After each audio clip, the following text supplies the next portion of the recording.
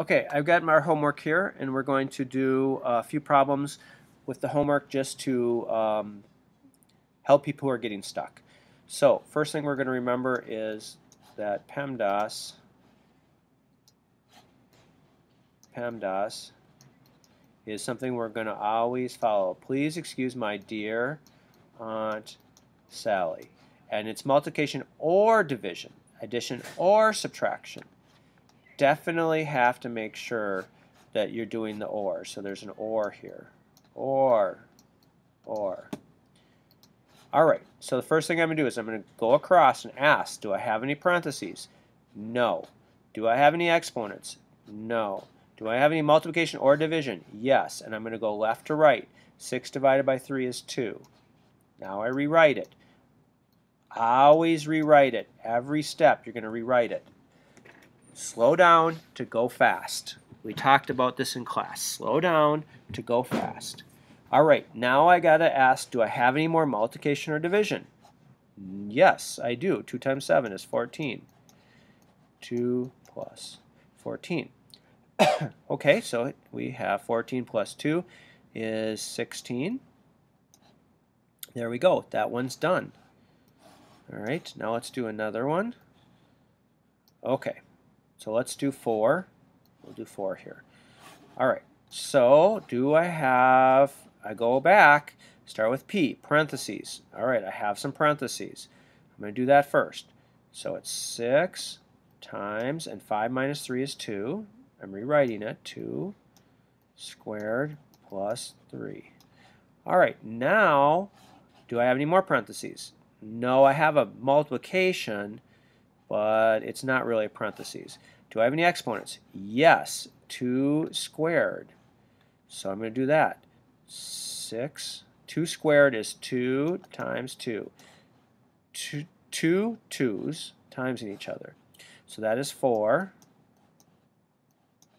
plus 3. And we talked about when we have a parentheses with a number right next to it, it's multiplication. So do, next thing is, do we have any multiplication or division? Yes, we do. 6 times 4, 24. I'm rewriting it every time. Don't even try not to rewrite it. Okay, do I have any more multiplication or division? No. Do I have any addition or subtraction? Yes. I go left to right. 24 plus 3 is 27.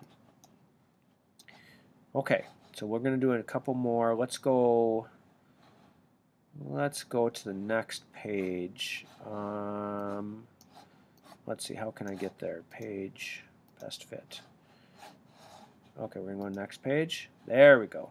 Now we'll go up to 200. That eh, might be a little big. 150.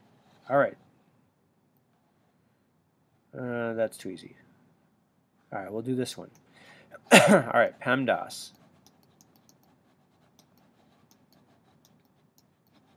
You should write it out somewhere on the page and follow it exactly. So we're going to start with the top. This is separate than this. So the top of the division problem, we're going to do that. Do we have any parentheses? No. Do we have any exponents? No. Do we have any multiplication? No. Multiplication or division? No. Do we have any addition or subtraction? Yes. 13 minus 4. So we have 9. And then I'm going to rewrite this whole thing. 18 minus 4 squared plus 1. Now I go to the bottom and I'm going to do PEMDAS. Do I have any parentheses? No. Do I have any exponents? Yes. So I'm going to rewrite it again. I know this is a lot of writing, but go slow to go fast. So 18 and minus 4 squared is 4 times 4 is 16 plus 1. Okay, now we're at um, do we have any more multiplication? No. Do we have any addition or subtraction? Yes. Go left to right. 18 minus 16. 16, 17, 18 is 2. So we have 9 over 2 plus 1. All right, so then I can rewrite it. 9 divided by 3, and that is 3. Okay, so that should help kids. That should help you. Remember when you see these and this, These are just supersized parentheses. Do the inside parentheses, then the outside parentheses. Okay. Remember, if you still have trouble, come in the morning and I will help you. All right. Bye.